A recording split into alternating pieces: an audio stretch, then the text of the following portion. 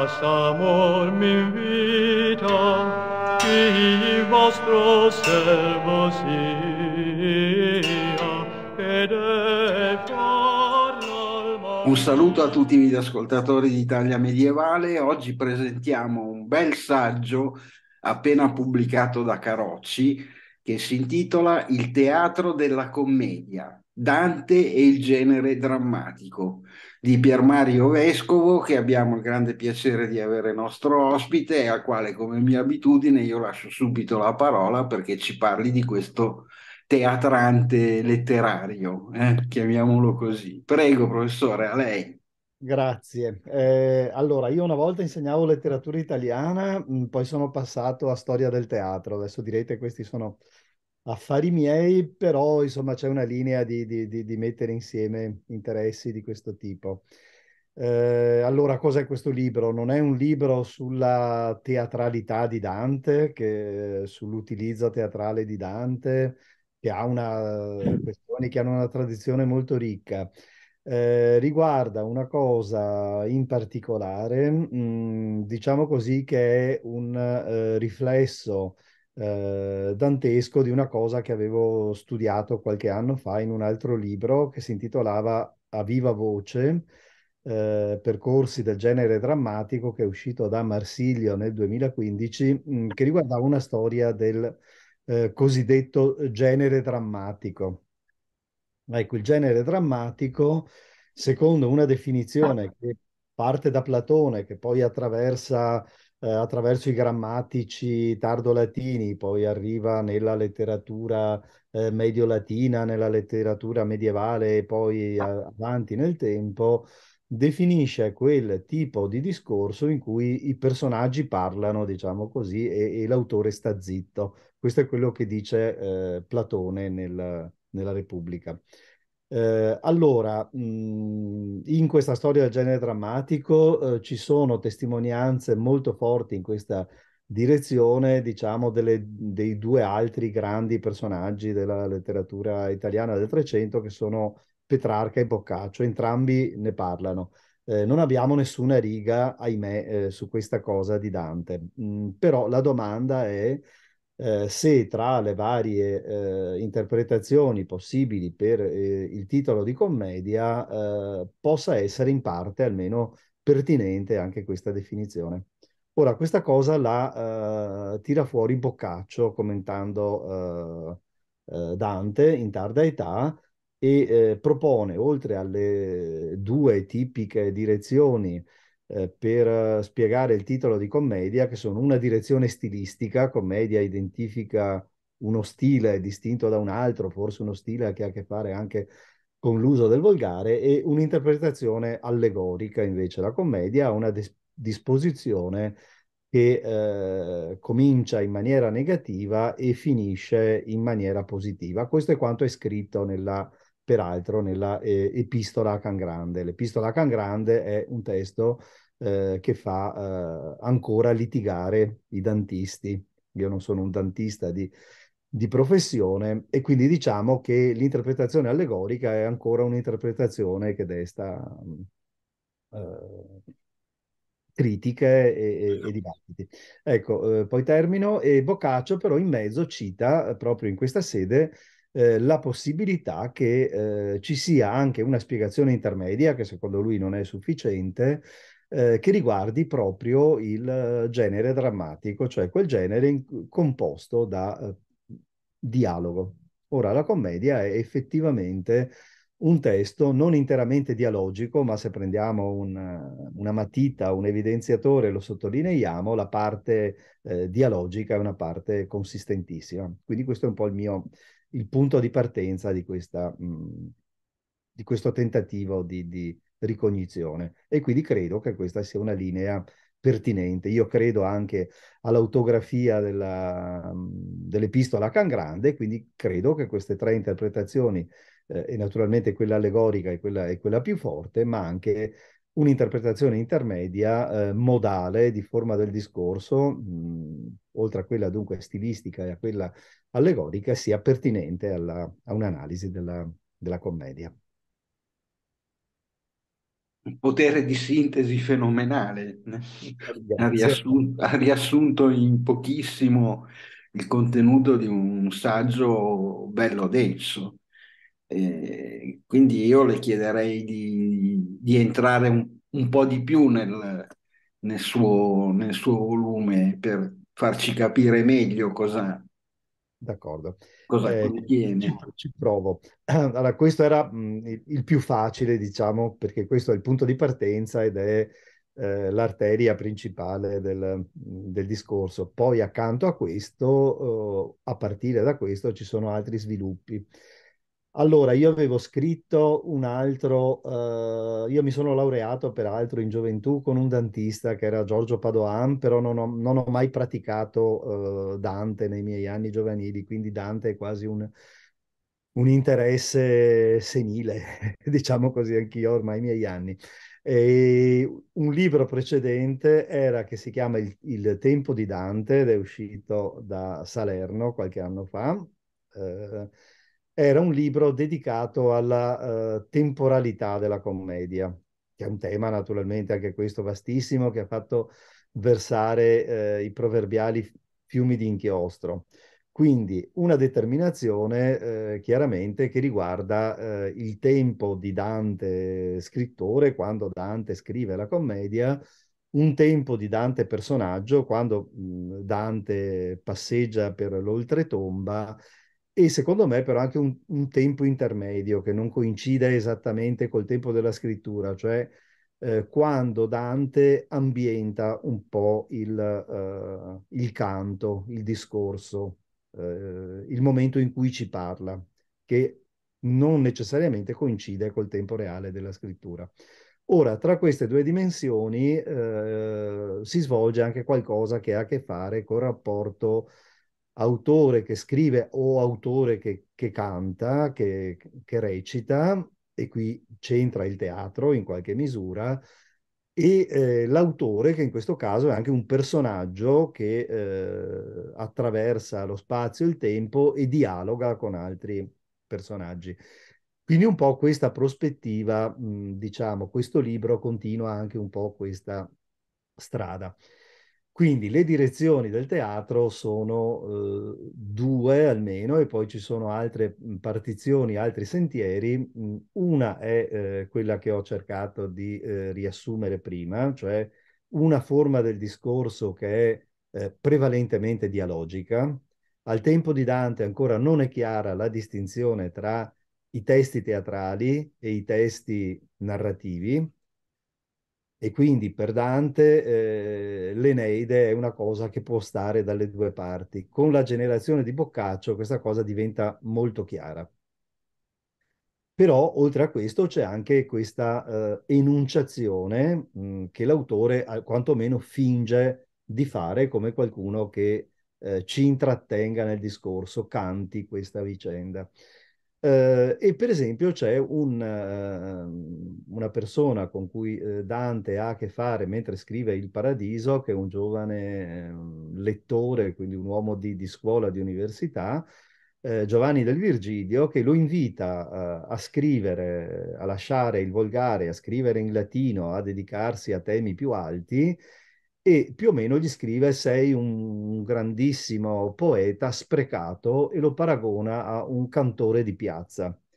Ora, non è che Dante andasse in piazza naturalmente a cantare la, eh, la commedia, eh, tuttavia qui c'è un'altra forte relazione. Dante è un cantore di piazza, no naturalmente, però la, eh, la commedia ha anche questa forma di, per cui noi eh, ascoltiamo eh, mentre leggiamo, fingiamo di ascoltare il poeta che non solo vive questa vicenda come personaggio, non solo la scrive, ma ce la racconta, ce la enuncia.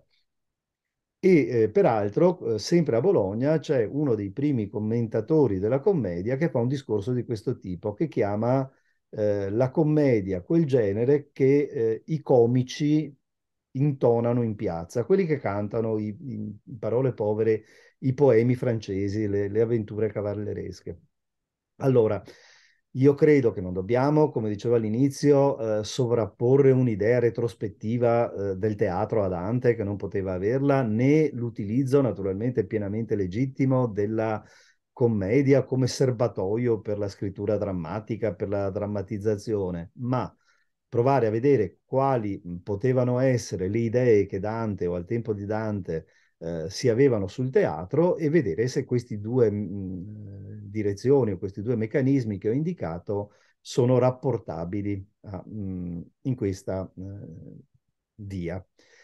Ecco, quindi una eh, teatralità che riguarda l'enunciazione, una teatralità che riguarda il contenuto e la forma del discorso. Eh, questo mobilita però anche due idee di tragedia e commedia. Dante chiama commedia, commedia, eh, alcune volte, soprattutto nell'Inferno, il poema che sta scrivendo che sta, o che sta cantando, e chiama tragedia invece l'Eneide del, del grande eh, personaggio, del grande poeta che lo accompagna nell'aldilà che è Virgilio. Ecco, io credo che anche per le questioni di prima, che avevo brevemente toccato citando l'Epistola a Can Grande, che eh, la direzione stilistica non esaurisca affatto il piano del rapporto eh, commedia-tragedia, cioè ci sia un'implicazione chiaramente della forma del discorso, del livello stilistico, del tipo dei personaggi, ma anche di eh, cosa ha scritto Virgilio e cosa ha scritto Dante e che tipo di direzione dunque il eh, poema di Dante mh, mm, indica. È, un discorso intrigante, no? È una prospettiva di lettura un po' diversa da quella a cui siamo abituati. E io spero diversa, naturalmente non è diversa in un senso che ehm, voglio sostenere delle cose eh, opposte a quelle che, che sono state dette. Eh, spero che questo sia un discorso recepito come un, un'integrazione che eh, naturalmente nulla toglie alle, alle cose, alle tantissime cose che sono alle infinite cose che sono state scritte, almeno a una parte di esse, quella per cui mh, così provo più, più attenzione ed ammirazione, ma che provi anche a, mm, a integrare con questa, con questa direzione.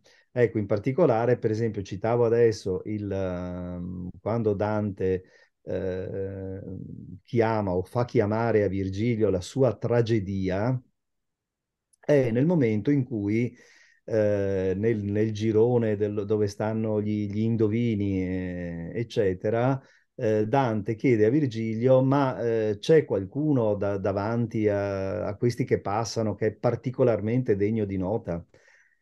E eh, Virgilio gli risponde, tu che conosci tutta a memoria la mia alta tragedia, quindi che la sai verso per verso, eh, ebbene c'è un personaggio che sta passando che, che si chiama Euripilo. Ora, qui adesso è complicatissimo districare questa cosa, le fonti di Danti e così via. Però, per esempio, qui mi sono chiesto, ma perché se la direzione di opposizione o di differenziazione tra commedia e tragedia, commedia e tragedia dovrebbe essere stilistica, eh, c'entra Euripilo? E, e perché eh, Virgilio addita Euripilo? Perché mh, non secondo Virgilio che nomina appena Euripilo nella, uh, nell'Eneide, ma secondo Dante, le fonti di, eh, medievali che precedono Dante, Euripilo è insieme a Calcante colui che ha fatto la previsione della, della fine di Troia.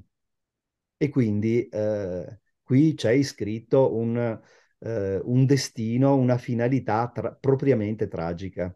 E quindi secondo me gli altri personaggi che poi vengono, eh, quindi a questo soprattutto mi sono un po' dedicato, quindi il saggio forse è un po' più infernale che eh, purgatoriale e paradisiaco, eh, una serie di personaggi della storia greca o della leggenda gre- greca antica che per Dante è storia, mescolandosi con, con, i moderni, con i personaggi del tempo di Dante, eh, additano proprio questa strada. Quindi abbiamo Ulisse, che non sta all'inferno perché ha violato le colonne d'Ercole o altre cose, sta all'inferno per l'agguato del, del cavallo uh, di Troia, abbiamo Antenore, abbiamo una zona dell'inferno che prende il nome da Antenore e così via, e quindi questa direzione di una storia eh, antica che passa, eh, che parte dalla, dalla distruzione, dall'assedio, dalla guerra di Troia, che poi attraverso Enea, che non va in paradiso, ma sta nel limbo,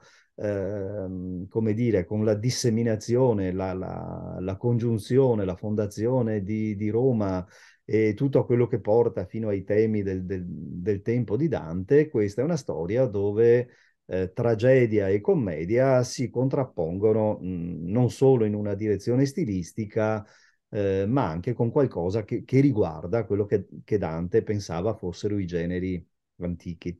Ecco, un po' dopo Dante, chiamare tragedia o tragedia l'Eneide non sarà più possibile, ma al tempo di Dante eh, la, l'Eneide può essere una tragedia eh, sia in un senso che contiene una fitta parte dialogica, e sia eh, soprattutto nel, per una mh, direzione stilistica naturalmente, ma anche per eh, quello che stavo brevemente cercando di riassumere per questa, perché narra la, la, la, storia della distruzione di Troia, della fine di Troia, che è tragica, e della fondazione del, di Roma, del, che poi ha una continuità che riguarda i temi poi dibattuti, eh, i temi laceranti delle, de, delle guerre del, del tempo di, di Dante, il, il, suo esilio, la sua condizione e, e, così via. Ecco, questo è, diciamo, un po' il punto d'arrivo, mh, spero, di questo discorso sul, sul teatro. Eh, c'è, cito brevemente, il primo commentatore, mh, al tempo di Dante, qualcun altro, anche persone che, che avevano in antipatia Dante e che Dante aveva in antipatia, tipo Mussato, che si rimette a scrivere, a rilanciare il genere tragico, fa un'operazione in qualche modo analoga e opposta a quella di Dante. Ecco, tuttavia anche Mussato, che dentro a Lecerinis, la, la tragedia che racconta la, la, fine di Ezzelino da Romano, eh, ci mette delle parti descrittive, quindi non è un testo totalmente dialogico per il, il, quello che dicevo prima. C'è il primo commentatore che si chiama Nicholas Trivet, che è una, un, un, inglese, che è un, un, frate inglese che abita in Italia, scrive il primo commento eh, alla, alle tragedie di Seneca in cui eh, sottolinea questa cosa per me fondamentale. Sono completamente dialogiche e l'autore non parla. E, e ancora dice, in questo modo, d'ora in poi dovremo chiamare solo impropriamente tragici i grandi poemi come l'Eneide, i poemi di Stazio e, e così via.